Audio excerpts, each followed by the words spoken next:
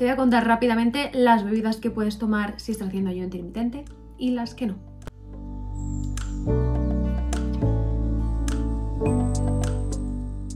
Hola, soy Laura de Que Tengo Laura y bienvenido de nuevo a mi canal. Hoy vamos a hablar de las bebidas que sí que puedes tomar y que están permitidas cuando estás haciendo ayuno intermitente y las bebidas que no están permitidas.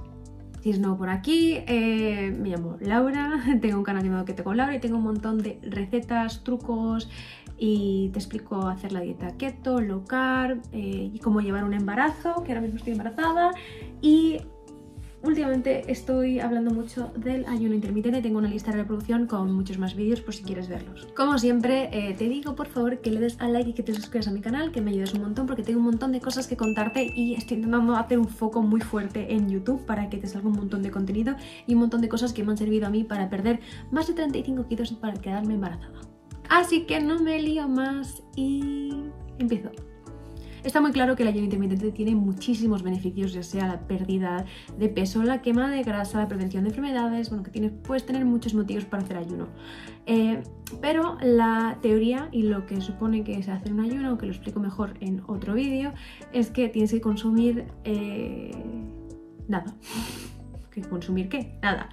Eh, el concepto es no comer, es no comer durante un periodo de tiempo.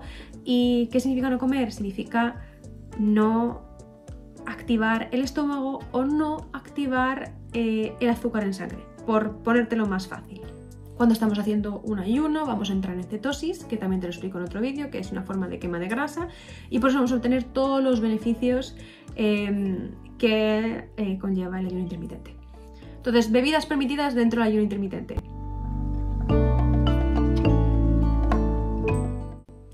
Uno, Agua. A ver, todo agua vale, pero mejor si es agua mineral, ya que estás metiéndola al cuerpo, metes lo bueno. Y además es importante que el agua, si puede ser, lleve electrolitos, ya sea comprados o que hagas tú con limón y con eh, sal del Himalaya. Piensa que cuando estás haciendo el ayuno intermitente estás bebiendo mucho líquido, estás expulsando mucho líquido y este líquido está arrastrando un montón de toxinas, pero también está arrastrando a la vez un montón de minerales y cosas buenas que, eh, bueno, hay que reponer. Así que lo reponemos con los electrolitos. Yo los hago siempre caseros. 2. Agua con gas. Agua con gas significa agua con gas. No significa soda ni gaseosa, no. Es agua con gas. Vas a ver que es agua carbonatada. Muy importante porque a veces se confunde con otras bebidas que están dentro del apartado de cosas que no se pueden. No lleva azúcar, no lleva absolutamente nada más que no sea agua carbonatada. Ya sea la de Vichy, ya sea Vichy catalán, ya sea Perrier, todas estas. 3. Té natural e infusiones, todo eso bien. No lo confundas con un Lipton Ice Tea ni con esas bebidas que llevan azúcar. Piensa que todo lo que lleva azúcar, fuera. Café, solo, súper bien, sin problema.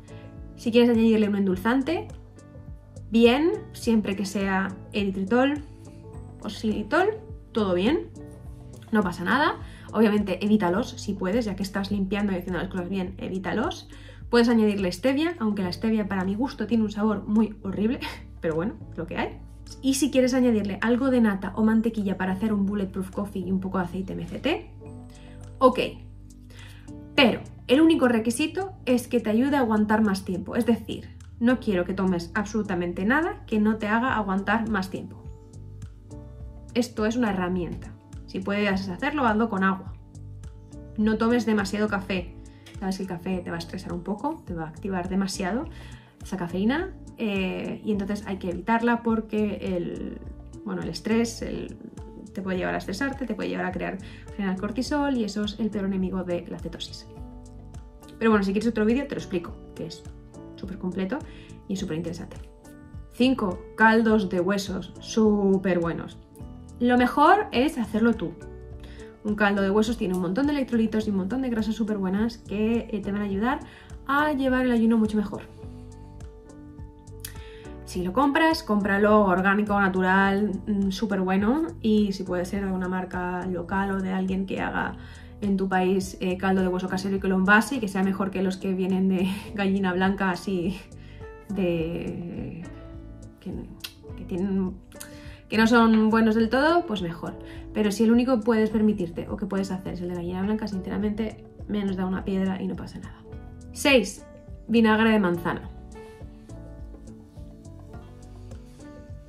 Tengo también otra lista de reproducción con vídeos sobre vinagre de manzana porque me parece el descubrimiento del 2022. Estamos ya entrando en 2023, pero el 2022 he descubierto el vinagre de manzana y me parece revolucionario. Y es que eh, el vinagre de manzana tiene un montón de propiedades. Una de ellas es regular el azúcar en sangre, que nos va a ir muy bien, y ayudarte con problemas digestivos. Maravilloso. Tómalo si puedes con poco agua, nunca directamente, sino con una pajita, un popote, no sé cómo se llaman, eh, para que no te llegue a los dientes, pero todo bien. Y todas estas bebidas las puedes tomar con hielo, sin problema. No te preocupes, que hay gente que me pregunta si el hielo se puede o no. Sí, el hielo se puede. Ahora te voy a decir cuatro bebidas que son las más comunes que me preguntas y que si las tienes que evitar o no, y te confirmo que las tienes que evitar. 1. La Coca-Cola cero, las bebidas cero. Piensa que todo lo que tenga aspartamo, que es un endulzante que utiliza la Coca-Cola, eh, o la Fanta o todos estos, eh, desgraciadamente sube un poquito la glucosa en sangre y además no sé si está demostrado del todo con estudios, pero eh, Néstor Regenera habla mucho de que hay una asociación entre cuando tomas algo dulce y una reacción en tu cerebro, entonces evita todas estas cosas dulces durante el momento de ayuno, porque vas a acabar queriendo más dulce. El agua de coco. El agua de coco, aunque tenga muchos electrolitos y sea muy buena, y minerales y todo, eh, piensa que tiene mucho azúcar. Evítala. 3. La leche. La leche.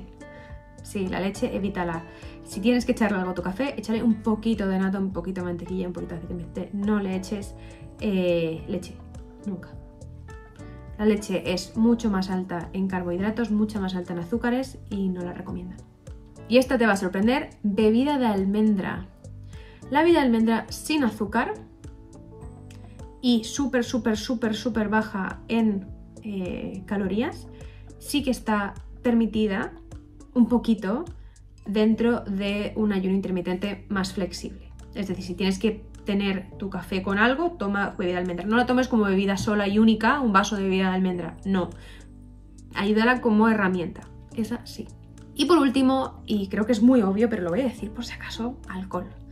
Sabemos que el alcohol puro tiene cero carbohidratos, cero azúcares, pero eh, no tomes alcohol mientras estás haciendo ayuno intermitente. Creo que tengo poco que explicar aquí. Bueno, y estas son todas las bebidas que están permitidas o no. Te recuerdo que existen diferentes tipos de ayuno intermitente. El ayuno intermitente que se hace solamente de agua, el ayuno intermitente que se hace donde no te permiten hacer absolutamente nada, tomar nada, ninguna ingesta de absolutamente nada. Luego está el ayuno intermitente un poco más flexible, que sí que te permite aceite MCT, que es verdad que tiene un poco más de calorías. ¿Ok? O sea que tú haz el ayuno intermitente que mejor te venga. Piensa que mejor que no hacerlo, pues genial. Utiliza y haz lo que puedas. Em, yo soy partidaria del ayuno intermitente más flexible para poder llevarlo a diario sin ningún tipo de problema. Y eso es todo por hoy. Si tienes más preguntas sobre el ayuno intermitente, déjalas aquí abajo, que yo estaré encantada de respondértelas. Yo ahora me tengo que ir, ya he grabado los, vídeos sobre el ayuno, que es un tema que mm, me apetecía un montón hablar. Aunque continuaré con más, pero necesito tus ideas, así que déjalas en comentarios. Para todo lo demás estoy en Instagram, TikTok, Pinterest, YouTube, en todos los canales, en todas las redes sociales. Eh, si tienes algún canal o algo así que crees que tengo que meterme porque pueda ayudar a más gente, pues dímelo, que lo intentaré.